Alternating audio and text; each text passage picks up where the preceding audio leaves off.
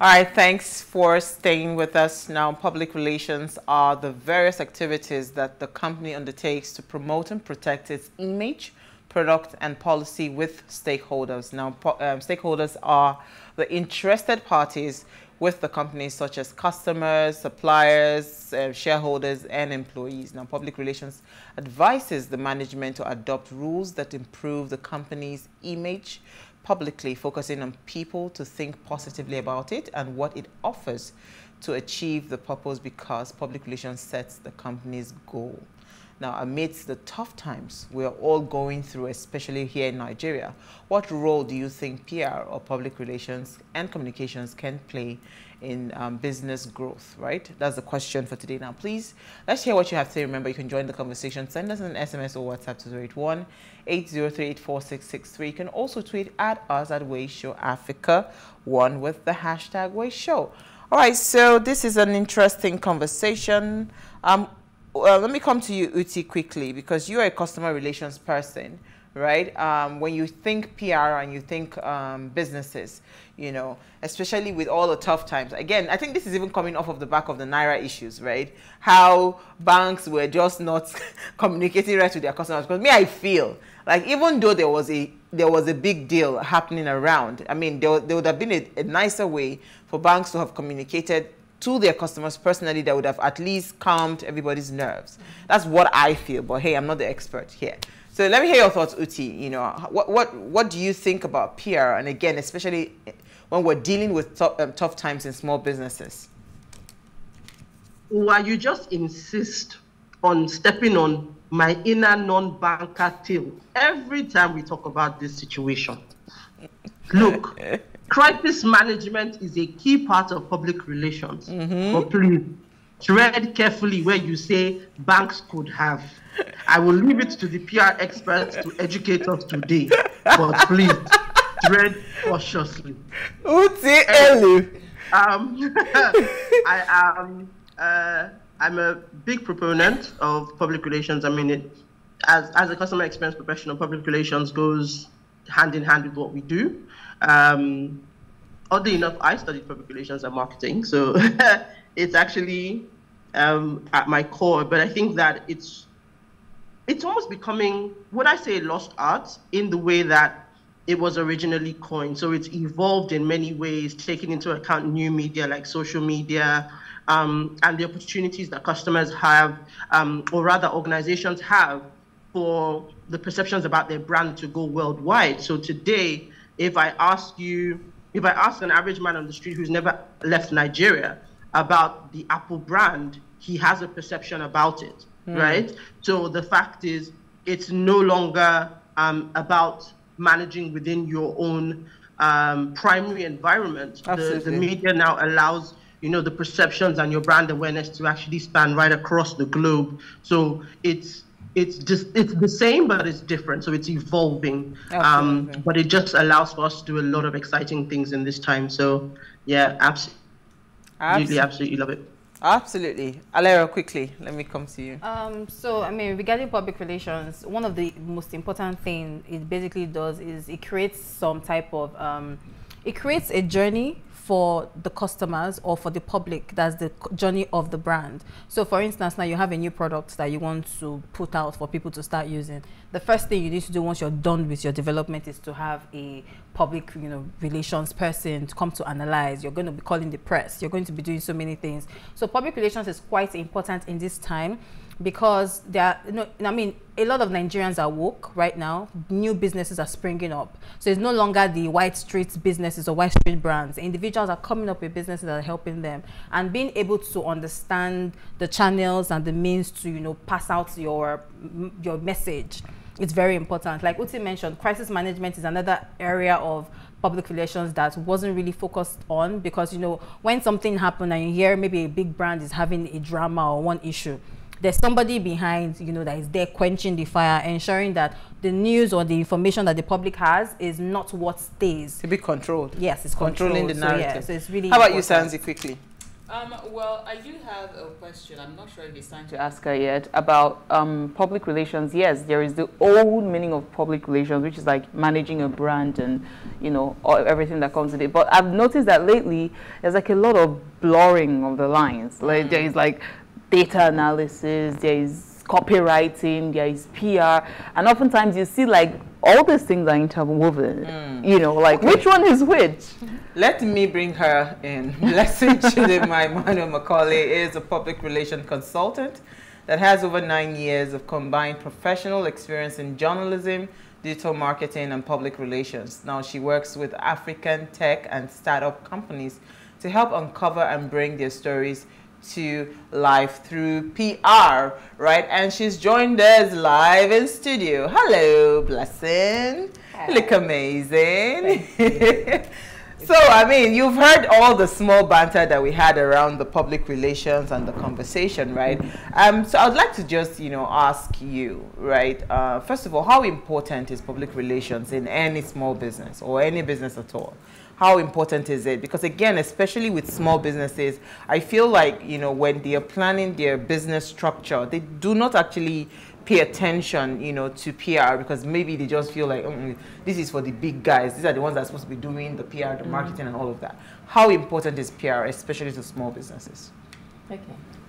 First, I have to say thank you for having me here. and I think that I'm in good company. I mean, already I yeah. feel I feel great about being here because I mean, so, a lot of people that say that understand that public relations is important, and from what everyone has said, everybody has an understanding of the fact that public relations is important, and um, for small businesses, it is very important. Now, there's also the reality that they may not be able to afford it um, at the beginning of the business, but it is also very important to pay attention to it. And even if you can't afford this thing right now, I mean, if I want to buy a phone, I can't afford it right now. I have to make plans for it, right? So even if um, I can't pull out the money from my pocket immediately to pay for it, I want to ask one or two people, what do you think about the latest iPhone 14? Do you think I should use it? And I think that the same approach should also be brought into public relations. Of course, as a public relations consultant, I want you to pay me for my services. I don't want you to pick my brains for free. But there's also um, the understanding that we have relationships and we can leverage relationships. So if I have a relationship with you or you have a relationship with me and you say, okay, I, I want to do this, what do you think? What would you advise? You can't, I can't afford to pay you right now. Then I could ask for um, ownership, some part ownership. I'm, I'm, I'm kidding. But yeah, I'm not in that business. but would you mention something very critical? And she talked about crisis management. Mm. You know, because again, this is we're in, we're in tough times. We can't lie globally, right? I mean, see what's happening now in Turkey. Mm -hmm. Buildings just collapsing. There are there are things happening all over, and it's quite overwhelming, right? Um, and you know, crisis management. I don't see us as we don't do so well when it comes to like chaos, right? We're not, we're not, most businesses don't function well under chaos. They just want everything to be smooth. Because again, we'll give example. I mean, we've had series of conversation with Uti on small businesses and how you do customer approach and all of that. You know, when there is maybe a bad pro product, for instance, that's crisis. Mm -hmm right? It is not really so much of the fact that probably you delivered a bad product to me that is the problem most of the time is the communication is how you how you try to mm. manage the situation right that just helps to just scatter everything or mends it okay. right so i mean when it comes to like crisis management right um, what is the best approach you know when when it comes to uh, crisis management and pr and communicating at that point what's the best approach okay so unfortunately lots of businesses have to suffer crisis and not just businesses, I mean organizations in general, from um, private to public, everybody's, I mean, everybody's prone to um, a crisis. But step one is to know that there could be a crisis because nobody is, it's not, I mean, nobody's invincible. Um, and when you know there could be a crisis, you have to make plans for it. So while you're making your communications plan, why you want to launch your product, why you want to be in the media, do you have a crisis um, communication plan in place. That's very important. Unfortunately, a lot of people don't have that, and because they don't, they don't have that, um, they're scampering when a crisis comes, and it's like, okay, let's just try something. Let's just try. Let's try to make it work. if you're able to work with a professional from day one, you there's a high chance that you will avoid the crisis. Or even if some crises are unfortunately unavoidable, if you can't avoid the crisis, there's a plan in place for To when manage. a crisis happens to Mm. manage it. Mm. And that's, I mean, that's what it's about. So, um, unfortunately, there's all of the chaos going on in the world right now. Some of it could have been better managed with um, a crisis communication plan. Um, and often, people know that there is a crisis coming. There's times that you know a crisis is coming. So, let's talk, let's take the um, Naira redesign, for instance. Mm. There's a deadline for Naira redesign. So, unfortunately, people don't have enough. You know, there's not enough to go around. Mhm. I think that communication should have actually gone out. There's digital communication, there's um, newspaper communication. All of that stuff could have gone out to say we are we may go through this process. We may have to deal with this crisis because unfortunately we do not have enough um, cash um, in the banks. So we will recommend that in this moment you begin to make use of um, transfers, um, electronic payment options, and all of that stuff. Mm. Well, I, I, I mean, I didn't see a lot of banks do that, and I have quite a number of um, bank accounts across. But I didn't see quite a, um, I didn't see a lot of them do Nobody that. sent you a message until it, it was after Yeah. the thing happened. Yeah, so it was after it, be, it was after it became a crisis that they started saying consider using um, Mm. electronic payment options and all of that. You could Imagine if you done had just pre- prepared. Yeah. them. Yes. Sanzi, you wanted to Well, ask? for me, I feel like um, yes, there is crisis management or being proactive or thinking ahead, but also sometimes I feel, and this is me thinking as just the average Nigerian, because we're, we're our first example is like Nigerian businesses, right? I feel like it's sometimes it could be this thing lie to me and make me feel better, right? So it's like think like we're all gonna drown, but don't worry, we're going to be okay. You know, that's kind of what I feel. So, um, I remember a little while ago, I think that was last year, I was working in a corporate field. And so we were talking about this PR, and then someone raised up his hand and he said, No, they're like a bunch of liars. I'm sorry, Yeah. Dave. this is what you said. I'm repeating your word, right? So, um, how do you manage that mindset that a lot of Nigerians have about um, PR and what they're marketing? They just think that you guys are really beautiful liars because you know how to package nonsense and give it to us. lawyers, lawyers and I, I take an exception. I take an to that. exception to that. We're not liars, Mm. and we don't package beautiful nonsense. Hmm. Um, I mean, those that will package beautiful nonsense um, would probably be the unprofessional ones, right? But if you meet a public relations professional that knows their onions, that understands the ethics of the profession, the person is not willing to package nonsense. As a matter of fact, if um, the product is by I, I can see the product, I know that there's a problem. I know that if I can't if I don't want if I don't um, ask you to fix that product, there's a crisis waiting for me in front, and I don't Mm. want you calling me up at um, midnight to say, oh, we can't, um, something is going on on the internet, we can't Yeah. sleep, or somebody ate our food, and no, I don't want all of that. So if I see from the get-go that is a problem, and I mean there are lots of professionals, uh, professional colleagues in the industry that also stand by this. If the product is not good, we don't want to be associated with it because we love our peace. So I'm working Because with they will you. come for you. Yes, of Mm. course. I don't want anybody. I, I, I mean, you know how we can get. Mm. Um, they're not just coming for you. They're not just coming for your profession. They, they're not coming for you as a professional. They're coming for your personal life. Your family, they're coming your for your children, family. your I- I- husband, I- I everybody, your mother, your father. all of And every other person in your profession. Now, if you just tuned in, thanks for staying with us. We're discussing PR and communication for business growth amid tough times, and we have with us Blessing Emmanuel Macaulay. Now, um, please let's hear what you have have to say. Remember, you can join the conversation. Send us an SMS or WhatsApp to 081 803 So, Alera, I'll come to you, then I'll come to Uti. So for me, the question that I have for you is, you know how um, I, I don't I don't want us to focus on the bigger brands or the government or the banks. I want us to focus on small businesses for my question. You know how a lot of times um, one of the most important thing, like you mentioned, is to ensure that you have a PR communication specialist in your on your team, right? What is the major thing you would say a, a brand should consider when it comes to to avoid a problem you know like a branding message or something that will happen eventually like a crisis what is the most important aspect of pr that you would suggest that a small business should you know enforce Um, Sorry, you mentioned, you know, earlier we're talking about uh, like a product, a product was designed, and in between, as the customers are using this product, there should be somebody in house probably checking to ensure that you know that fault doesn't come. So aside from product, when it comes to a brand in general, what is that major thing that you feel like if you don't put this one in place, just expect that you know a problem will come out at the end of the day that you might have to start putting out some putting out some messaging. Okay, so like you already said, the first thing is be sure that you have a good product or service. Right. Good is, I mean, it has to be good. It has to meet the promise that you have given. If you say that the um, glass couple, when you drink water from it, you feel like you're in heaven, it better meets that promise, right? That's mm-hmm. the most important thing. So, whatever you say you will give, ensure to deliver it. And then, when you're able to do that, every other thing will begin to fall in place um, unfortunately, a lot of businesses do not pay attention to that because, like somebody mentioned, and I quite agree, um, a lot of small businesses just started on the basis of um, I need to just survive, I need to have to make money. make money, and all of that, and that's okay, right? But as you go along, you need to be able to talk at the heart of your audience.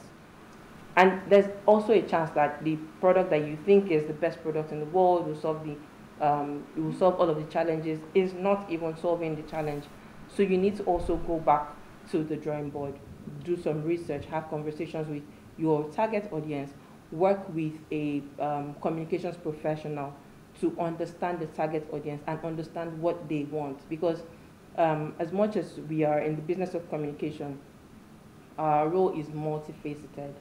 Um, we, I, I like to say that we are your therapist, we are your lawyer, we are everything to you, right? Because we actually we put our heart into what we do because we know that when your brand looks good, we look good. So that's very important. So mm. I would say focus on solving a problem and then delivering on your brand promise. And then um, once you're able to do that, things begin to fall into place. Okay, so Uti, let me come to you.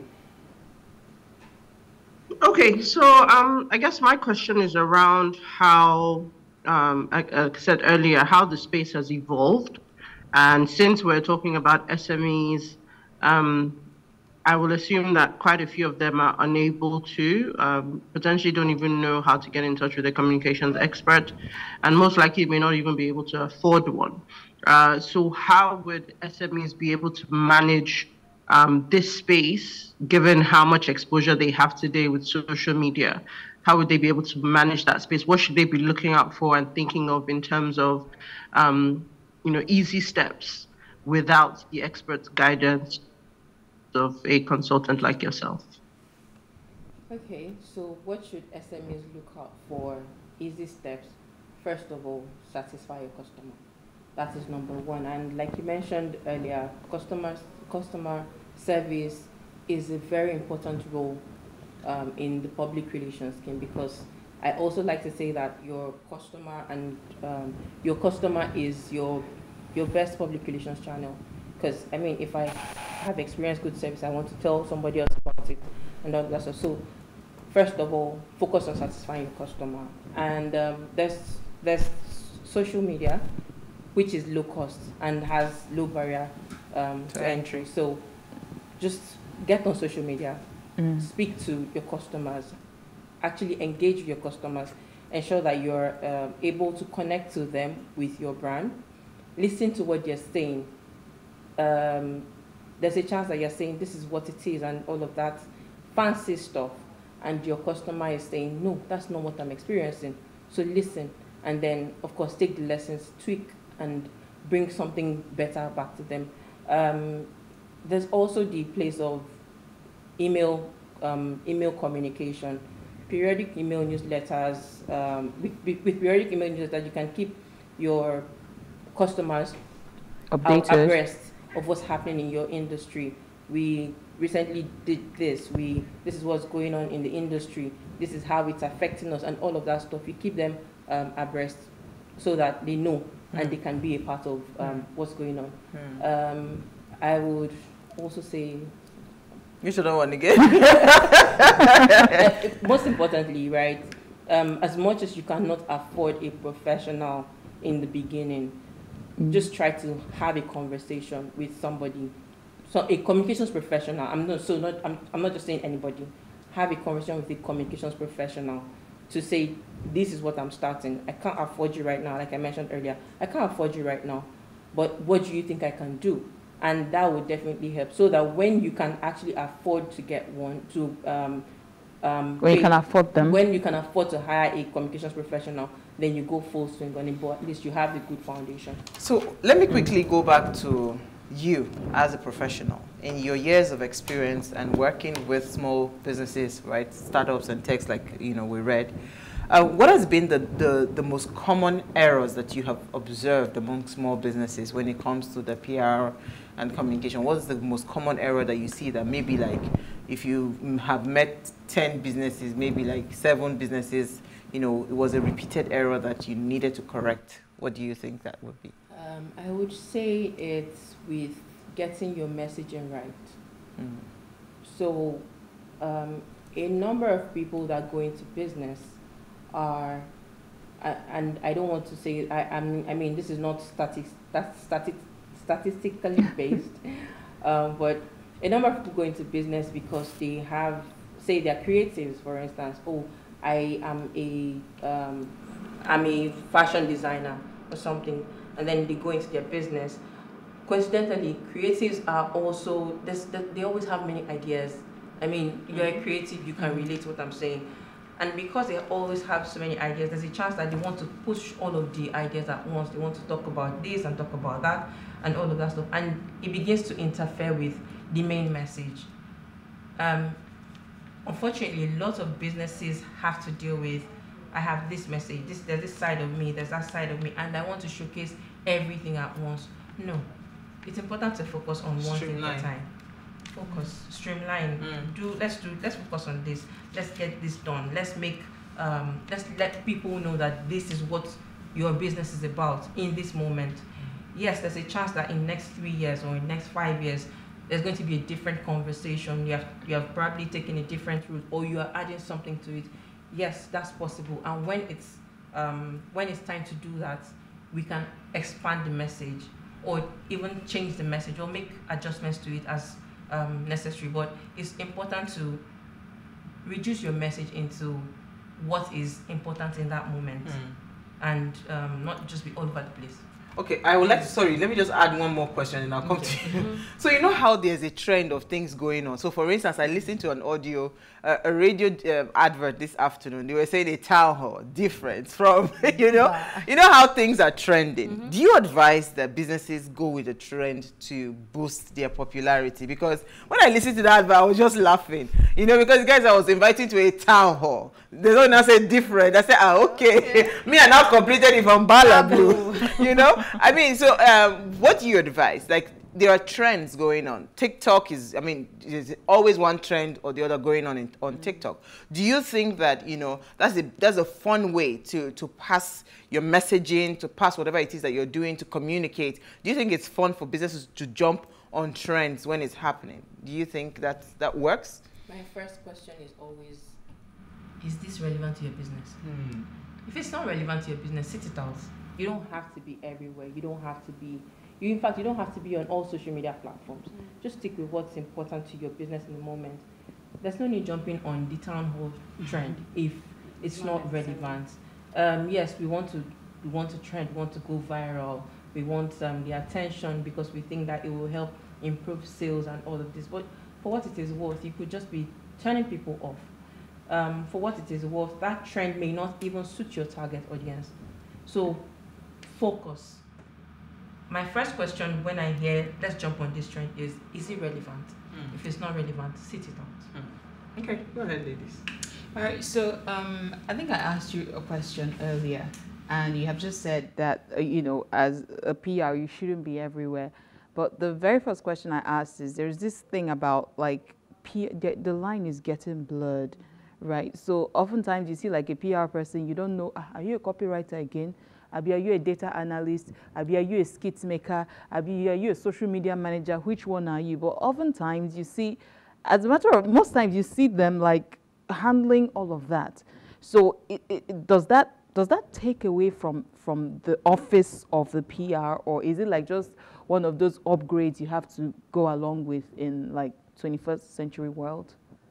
So, like I said um, earlier, we we wear many hats. We are Mm. multifaceted, and we we are we are that because it's it's what our job requires from us, right? So, um, everybody, every public relations professional um, cannot do everything. As a matter of fact, of course, you have your strengths, Mm-hmm. um, and it's important to know this is where my strength lies. And when I need somebody else to do something that is not my strength, I should just tap into the person's strength and let the person do it. Um, but it's also important that as a PR professional, you have an idea of all of these things. Um, for instance, you've mentioned data analysis, you've mentioned copywriting. We do a lot of You must know something Has to be. little on everything. Yes, Yeah. but there, of course, there are the core Core. that you must